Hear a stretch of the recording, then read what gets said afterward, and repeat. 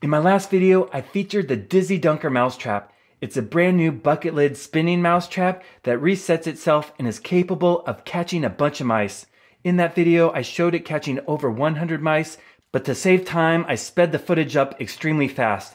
Well, many viewers wanted to see the full footage, so that's what I'm going to show you in this video, catching 100 mice with the Dizzy Dunker. This is a mousetrap that I invented, so hopefully you enjoy seeing all these mice caught with this brand new mousetrap.